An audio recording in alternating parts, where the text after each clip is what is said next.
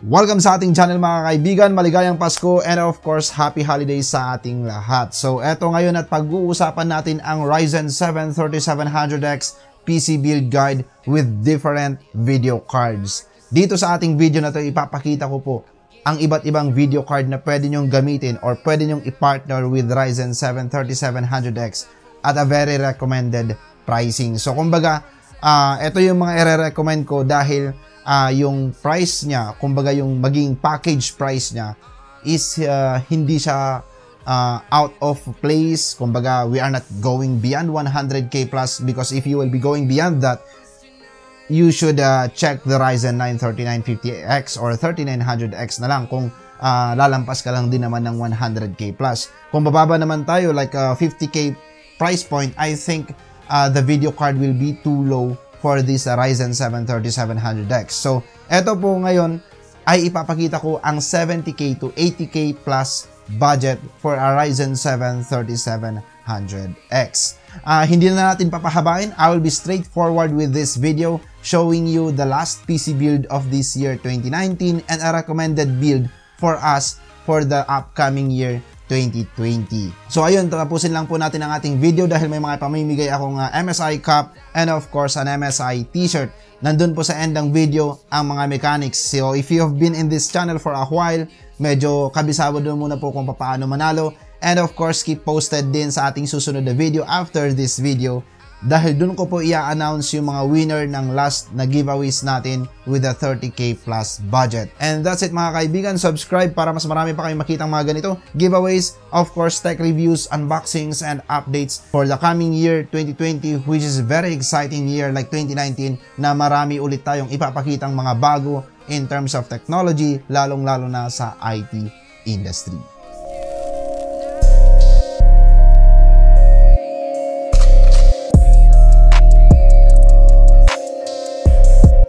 Okay, so ang ating PC build guide ngayon is Ryzen 7 3700X, the processor that we use and we use the X570 Gaming Edge as the motherboard.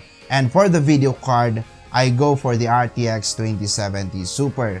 And for the chassis, I go for the Deepcool Matrix 70 and a Deepcool Castle 240 for the AIO. So it's like a Deepcool MSI PC build. Maganda yung aesthetics niya kasi uh, straight tayo in terms of the brand choice pagdating sa components inside and then naging straight din tayo in terms of dun sa mga uh, very visible na parts like the chassis and AIO. So ang pangit kasi minsan kung uh, ang gagawin natin is MSI yung board and then Gigabyte yung video card or uh, yung gagamitin natin is uh, deep cool yung chassis tapos ang gagamitin natin cooler is uh, Cooler Master. Yes, uh, we all know that there are better components in each brands pero sometimes if we are trying to consider the aesthetics, mas maganda kung medyo magkapareho naman yung brands. But of course, you should also check kung yung uh, component ba ito. Like for example, the Deepcool Castle 240. Kung pangit yung component na yan, then I should better go with the other brands. Like for example, I will go for Corsair.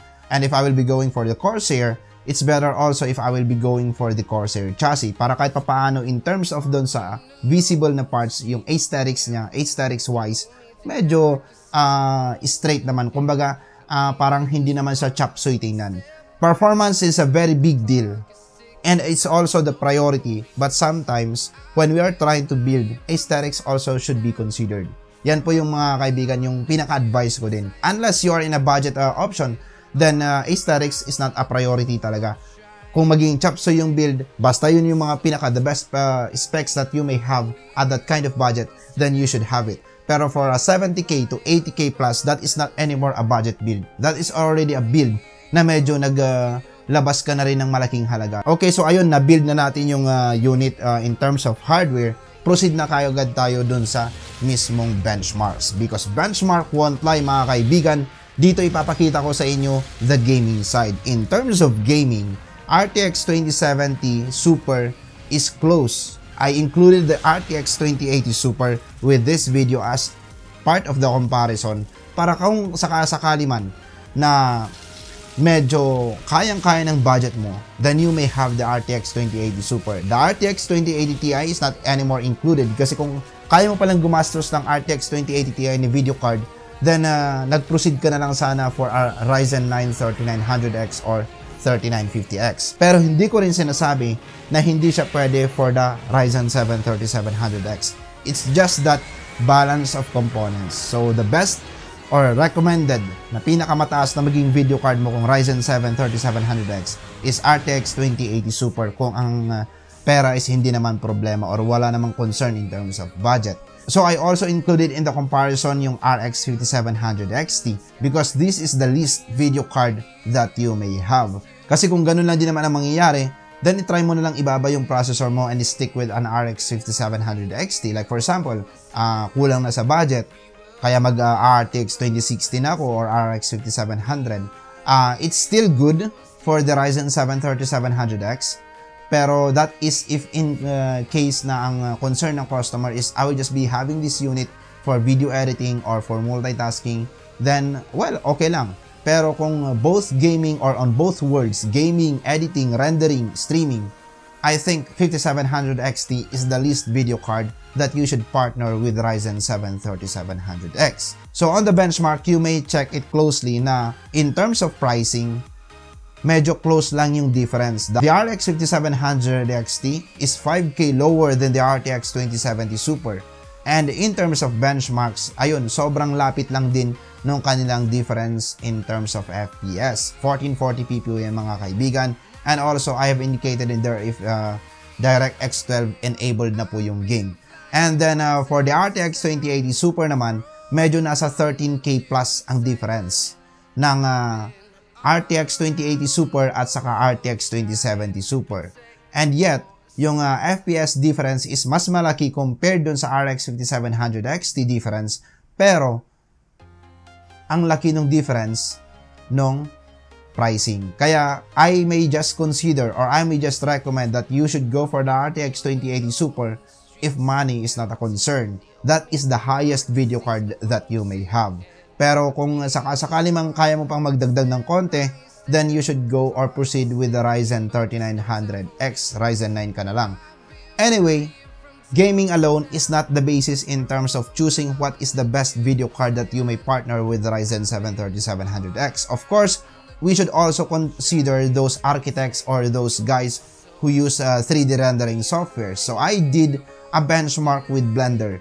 GPU, uh, benchmark or GPU rendering ang ginamit po natin. And here we found out that the RTX 2070 Super is way ahead compared to the RX 5700 XT. So I think on this case or on this scenario na the RTX 2070 Super is the go-to video card kung ikaw po ay architect or nagsi 3D rendering like you are using softwares like Lumion, V-Ray, Blender, yan. Lumion, it's a very GPU bound uh, software like uh, other games or like most of the games. So I think if you will be going for uh, those kind of setup na isa kang inhinyero, isa kang architect, RTX 2070 Super is the clear winner in here. Okay, so let's proceed on the video editing side. Of course, at the video editing side, there's no huge difference aside from the processor is doing almost all of the jobs. So nakikita natin dito mga kaibigan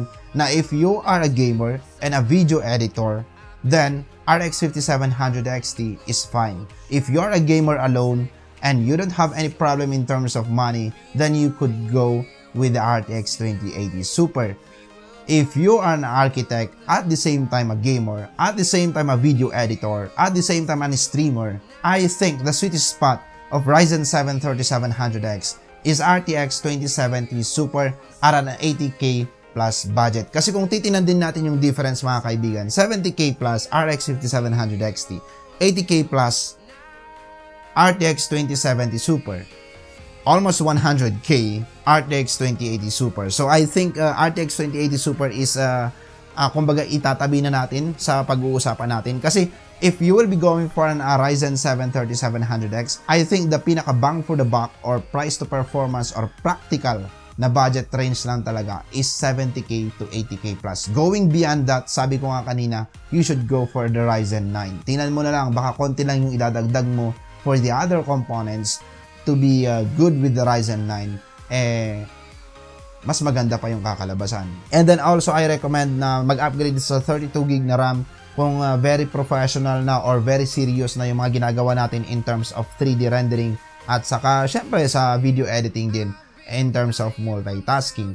And then for the power supply, Seasonic uh, 850 watts, naka-promo ngayon, 5,900 more or less, I think for almost all of the stores. Uh, kung wala mang promo, then uh, you may avail that at a 6K plus. So I think one of the bang for the buck power supply in the market na pwede nyong kunin yung Seasonic 850 watts Focus Plus. And then for the storage, uh, a data NVMe SSD and 2 terabyte hard drive. So for the further details ng ating PC build, you may check below yung mga options with this kind of setup. Meron tayong option A to C from RX 5700 XT, RTX 2070 Super, and 2080 Super pricing para magkaroon kayo ng guide what to build this year 2020. Okay, so let's proceed with the giveaways. Simple lang po mga kaibigan. Ang gagawin lang po natin, like this video and of course, share it on your social media accounts, subscribe on our channel, and then of course, comment down below any greetings. Siyempre, marami tayong napag-usapan this year and natutunan. So, let's greet everybody else na natuto at uh, na-inform in terms of uh, products or updated components sa ating industriya. And sa mga kasamahan natin, well, congrats Salamat at uh, tumataba po ang aking puso na naririnig at nababasa na nakapag-build na ako ng ganito and I base it on your video. Uh, ganun, marami, marami akong uh, mga nababasa and uh, I'm so happy na marami tayong natutulungan. And uh, of course, hindi lang po ako yung nakakatulong kasi may mga comment section na kumbaga doon kayo nag-i-interact, nakakapag-usap-usap na eto malito, dapat eto gawin mo, dapat yan ang gawin mo. Kumbaga may mga nagko-comment na yung PC build ko ba na ganito, itong components ba na to, okay ba? and then somebody else will uh, give a reply. So ayun, nakakapagtulungan talaga tayo on the comment section. So napaka-importante ng comment section when there is a very uh, healthy interaction din sa bawat isa sa atin. And syempre, uh, I always try my best na makapag-reply sa lahat ng comments. Like and share on your Facebook social media accounts, comment and subscribe. And then for the shoutouts, shoutouts kay Fourth Lopez. Salamat sa pagbibigay ng feedback sa ating Facebook page. Joe Saking, Kalaman. Salamat sa pag-drop by sa ating channel. Sobrang laki na ng channel ni Kalaman. Nasa 1M uh, ah, mahigit na. So sa mga mahilig po dyan sa mga kwento or uh, mga kakaiba or may kababalaghang kwento, Kalaman is one of the go-to channel. Ginaya ko po siya sa isang video. I tried to uh, imitate dung, yung yung intro niya. I think in terms of the topic na paano mag-overclock. So doon ko po siya ginaya. Yung pinaka-lately lang na upload ko po. And then kay Vince Campanilla, Friends Gaming, Jomari Gaming, Doggy Gaming, Bebeb eSports. Dami nito. Panay, uh, I think, mga streamers sina sir. Arvin Joseph Maligalig. Oh, kompletong kompleto yung pangalan ni sir. Ah. Arvin Joseph Maligalig, Sean, Kimpang, Art Gear TV, Yakan Gamers, Aesthetically Mercury, Brian So from Dubai. Ayun. Uh, greetings po sa lahat ng mga kababayan natin dyan sa Dubai. Merry Christmas and Happy Holidays. Jaser Dizon, Viper Licious, Glenzy, Hajime Takatsu, CMT Philippines. May kumpanya pa. I think channel ng company nila to. Eugene Garcia, Cheng Federico, Jasper Gaming, Carl Jimenez, Handare Kitsu, Mark Kevin Aison, Mark M. Nays, Phoenix Gaming, Renier Dan Padilla. Renier Dan Padilla is, uh, I think, the manager of uh, Asianic Computers sa mga SM malls. Mark M. Nays, Phoenix Gaming, uh, Dabby Skywalker, Kuya Yang, Daryl Jade Elbore, Eric Jude Mina, SF Flores, China Azalia, Lee Agustin, Bernard Magtibay, China Azal Azalia. Siya lang bukod tangi may female, uh, female na nagpa-shoutout. So, ayun po, sa mga hindi ko po na-shoutouts, ayun, comment na lang din po ulit kayo dyan. Um, hindi ko po lahat mapagbibigyan, pero in the next uh, few videos or uploads, ayun, masasama at masasama ko din po kayo sa ating shoutouts. So, that's it mga kaibigan, and thank you Happy holidays, Merry Christmas, and then of course, enjoy and have fun.